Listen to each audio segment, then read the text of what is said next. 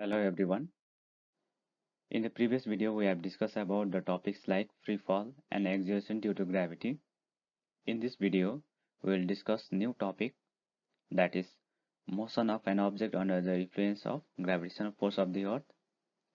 Then we discuss about modified equation for motion under acceleration due to gravity and the last topic for the video is to discuss about mass and weight.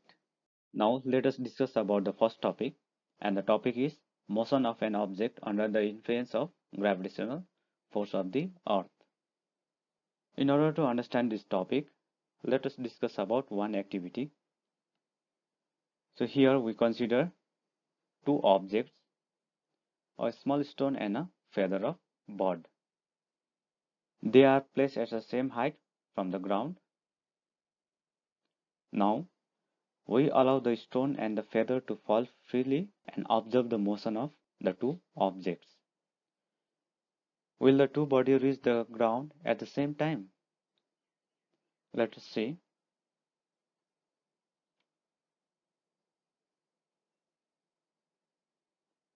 What we observe is the feather and the stone will not reach the ground at the same time. The feather will reach little time later. Now the question is why is it so? The reason is it is due to air resistance. Air resistance means the force which opposes the motion of an object when the object passes through the air. In this case, the air resistance on the feather is more than the air resistance on the stone. So due to this reason, the stone will reach earlier and the feather will reach little time later than the stone. Now the people thought about what will happen if there is no air.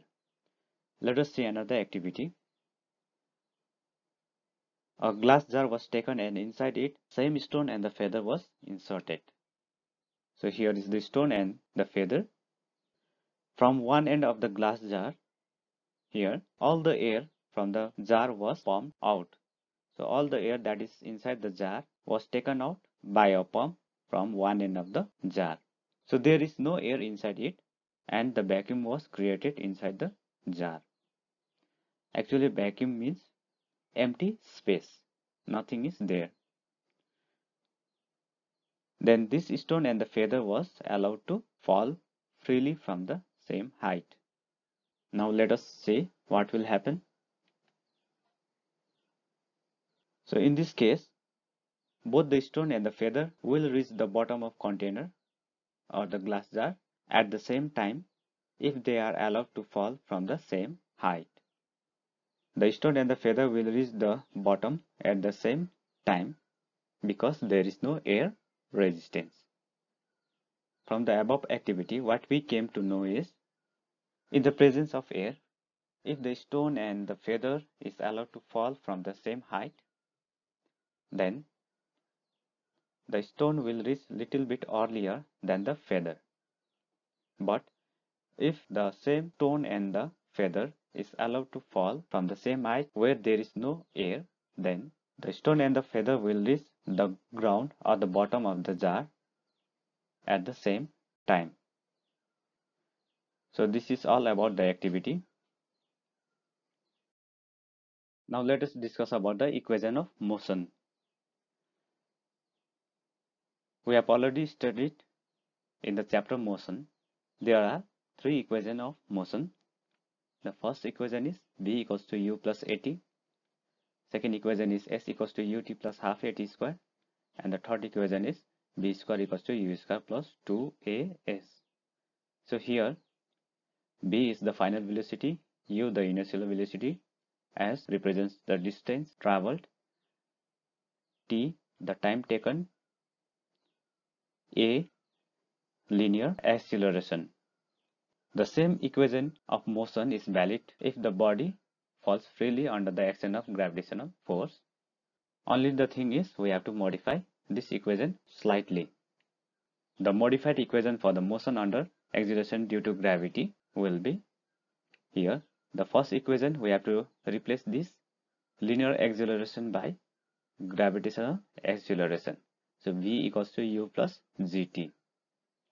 then in second equation here a will be replaced by acceleration due to gravity small g and it will be s equals to ut plus half gt square and here also in the third equation this a will be replaced by small g and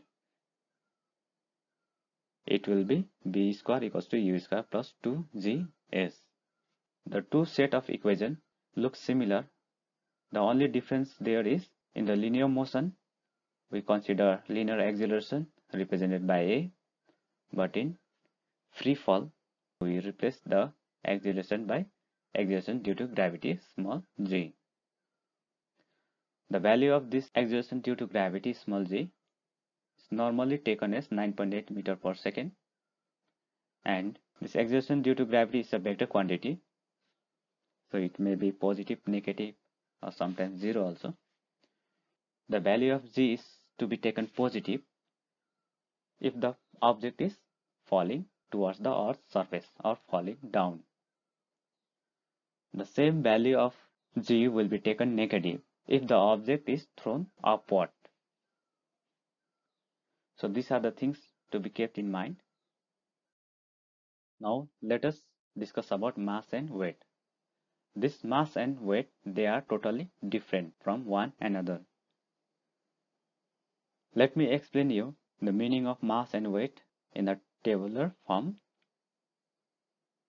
So in the left hand side will be the details related to mass and in the right hand side will be the details related to weight. The first thing that we must know about the mass is its definition. Mass is the measure of amount of matter in an object. So mass is actually the matter that is contained in an object. But the weight means the force exerted on a body by gravity. So this weight comes into existence only if there is a gravitational force. So the formula for the weight is mass into gravitational acceleration. So if we multiply mass with gravitational acceleration, then it will be weight. Second point is mass of an object is same everywhere. It is constant, but weight varies according to the value of g. So this g means uh, acceleration due to gravity. So from the formula of weight, so this mass is constant. It is same everywhere. The only thing that will vary here is gravitational acceleration. Depending upon the value of gravitational acceleration, the weight of an object will vary.